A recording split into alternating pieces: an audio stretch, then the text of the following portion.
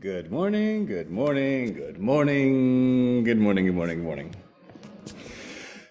so I'll tell you, I'm I'm always in a good mood.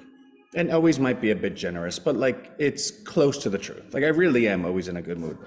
I read this book when I was younger with um with your like first sweetheart, right? There was this girl that we um we lived down the block from each other. Our last names were very close to each other, meaning you sat next to that person in all of the classes. Her last name was C A I, mine is C A L. Good morning, Brian. And we had the opportunity to kind of become friends, like pick on each other, tease this and that. And what was cool is, uh, good morning, Ian. Oh, from Alberta, Canada. What's cool is we were both like ugly ducklings, right? Like I was very unpopular as a child, and so was she. And then in eighth grade, we suddenly became popular, right? Like God blessed us with some type of attraction.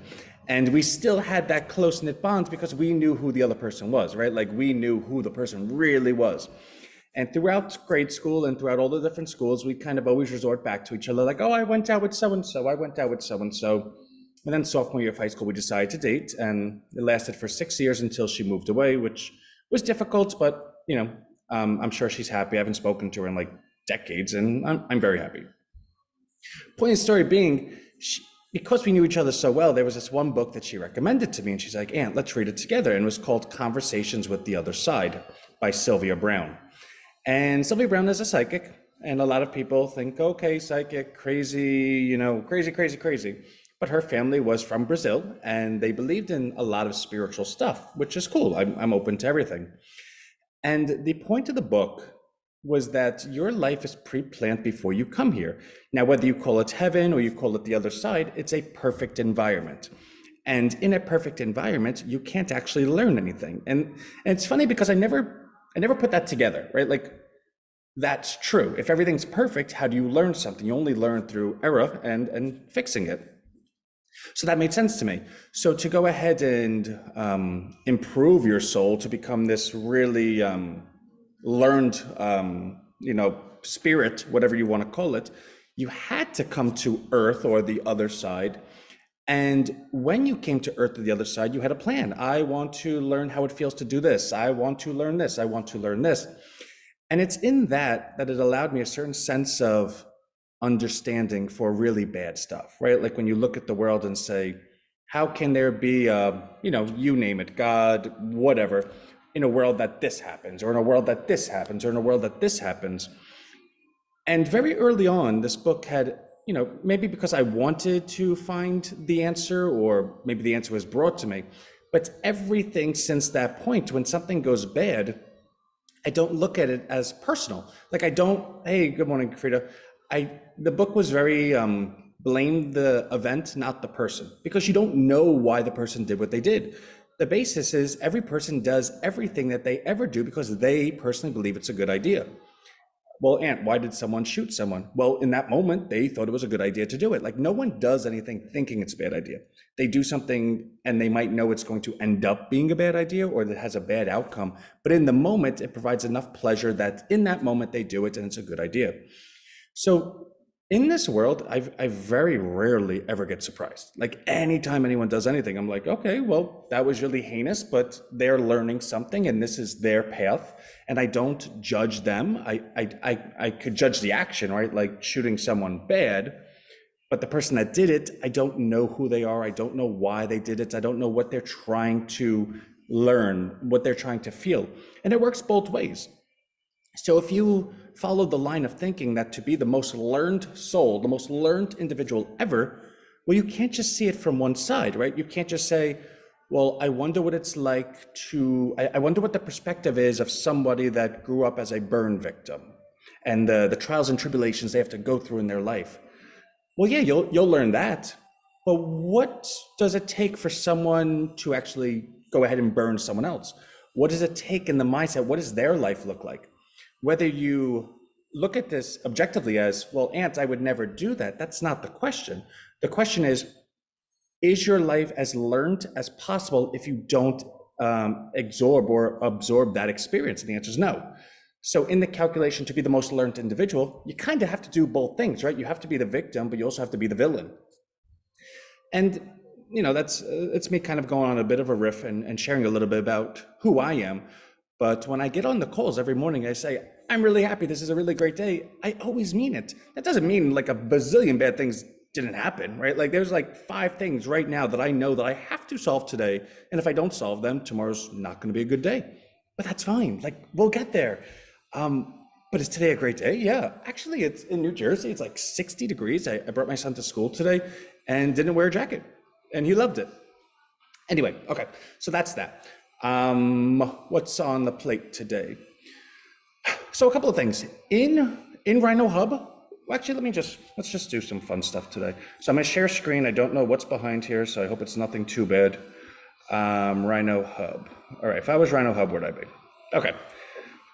So I'm already in Rhino Hub. Let me get out of it. Save progress, save and exit, right? That sounds like fun. Okay. So let's get into it. And I'm an admin, so I could just log in that way. Now, a couple of things I want to show you that's super cool. Now, on the home screen, we did change it so it's a little bit more agnostic. It's not, hey, today's such and such date, because we don't want to change it every day. Plus, after 21 days, we're not going to be changing it every day, but everyone that sees it will be seeing it in a new day. In fact, there are people seeing this today that joined this week, and their orientation starts next week right? So of the people that started from day one, yeah, everything's live. Today's day four for you. But there's about, I think, 12 or 13 people that have since joined this week who haven't had their orientation yet, still Monday of next week. So this page has to be a bit agnostic to what's today's date. But coolest thing ever. So I always tell you, we're doing like really cool stuff over here. And, you know, maybe I'm just like a kid in a candy store, but we used, it's, it's taken like three weeks, but we, and it's still not done, right? But we went ahead and coded all the AI stuff that we have to equal our own bot. So when you scroll down, you see Rhino Assistant. Now there's now we need to go ahead and code it with everything Rhino.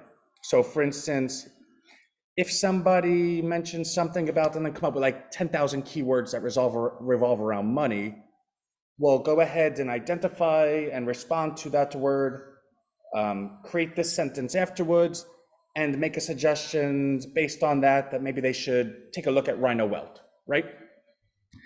So this is effectively going to be our assistant. It, it's it'll be everything. It'll be our sales coordinator. It'll be our like say for instance I'm like, hey, I'm in Rhino Hub, and I would like to create a diet plan customized to me. I'm six foot two, weigh 240 pounds. And these are all real stats, so I know I'm a little big. I have no food allergies. I do love um, steak and I do love snacks. I would would like to I can't type in the morning apparently to lose weight. Oh my God, I'm so embarrassed. And gain muscle mass. Can you offer me an optimal diet strategy for one day? All right. Somebody better answer me. Now, I haven't tried this yet, so if this doesn't work, I'm going to feel real. I'm going to check with ChatGPT for a better answer for you. So we need to obviously make this taller, right?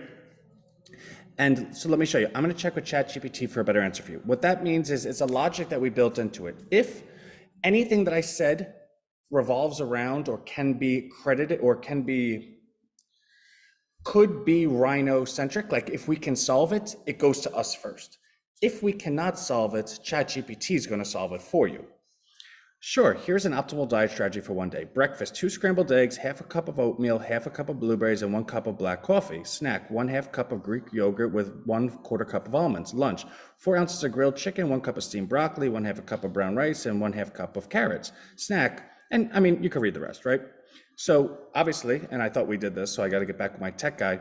This needs to be, um, the height needs to be bigger because this is not a fun user experience to have to scroll through this, especially if I want to continue the conversation, right? Like, I don't like cottage cheese.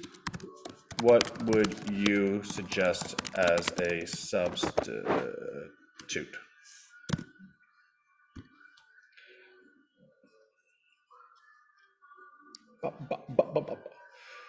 If you don't like cottage cheese, you could try ricotta cheese, Greek yogurt, or quark, or quark as substitutes, right? Like that's pretty cool. This is this is not a real person, right? Um, so this has to be worked on a little bit more. We need to get it Rhino first. Go ahead and offer suggestions, and even okay, great. Do you want to plan this? We'll send you out a calendar. Like there's stuff we still need to do, but how cool is that? Um, and then I'm on share screen. Oh, well, actually, yeah, so I'm on share screen. So let me show you one more cool thing. Um, okay. Allow. So also we spoke yesterday about making merch stuff and we have a store. We haven't really done anything with it. In fact, I shopped on it last week and my stuff comes in today. I bought the shoes and I'm like seriously so excited.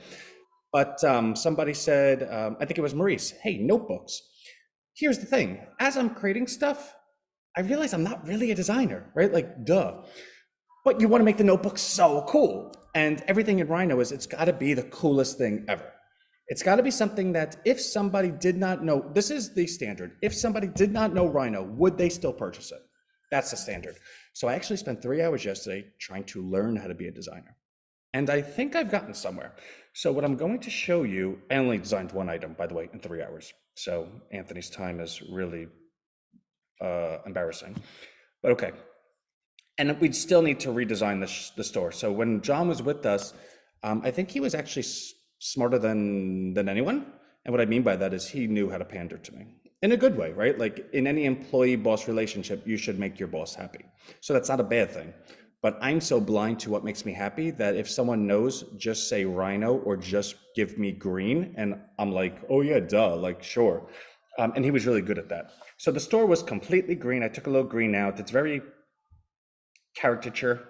Um, we want to make it more serious. So again, total credit to him. He did his job. Me, I need to do better at doing my job. So here I am. Um, now here's the notebook I made. So obviously you see the collections, a quality collection, and that's uh, the shoes and this type of stuff. It's all, this is equality, this is equal in different languages. Learn, earn, succeed. This is going to be strictly for Rhino Hub. Or not strictly, but um, cater to Rhino Hub. Dream loudly will be kind of like household items and stuff that we just think are amazing. And Children's Corner, it's going to be called Kids Corner. And I really want to get into writing children's books and before anyone says, Ant, you know, like you have enough on your plate, I have enough tech that I can thoughtfully write a book. Um, and we did that with Rufus the Rhino. In fact, I showed everyone. Um, but I do care about children. Like I do want all of the education and all the stuff that we're doing to be in a to be in a digestible for children. So for instance, say we're doing Salesforce, and that's really, really complicated well, is it possible to teach a child how important um, CRM management and that stuff is in a fun story with great characters that the child could say, oh, great. Um, yeah, I'm very familiar with that concept. Like they don't need to know how to code and press certain buttons, but they could be familiar with trends that are the future. Therefore, when they get introduced to them, there'll be um, an easy evolution to it. And that's what matters. And family stuff and all the rest. So that's that. Without further ado, though, take a look at my book. How cool is this? You know, for someone that can't design, that is freaking cool. Like, I can't, you know, and of course, I just, you know, pressed enter for all of this stuff, blah, blah, blah. Like, I need to make this page better. It needs to have previews, and there's stuff that needs to be done. But in terms of an actual design, I mean, come on, like, Anthony knows what he's doing. Um, so I have a lot more to do with that today and tomorrow. So I'm gonna stop the share.